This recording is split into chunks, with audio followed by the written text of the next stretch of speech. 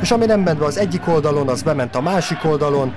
Itt egy nagyszerű szakályi kiugratás, Balás kilép a védők között, Ignyátovicsék nem tudják utolérni, és Kemenes sem tud hárítani. Balázs Zsolt megszerzi a mérkőzésen második gólját, és ezzel a 63. percben el is dől a találkozó, hiszen már 3-0-ra vezet a Paks. Balázs Zsolt megint nagyszerűen lépett ki a védők között, nem tudták utolérni, Kemenesnek pedig esélyesen volt hárítani,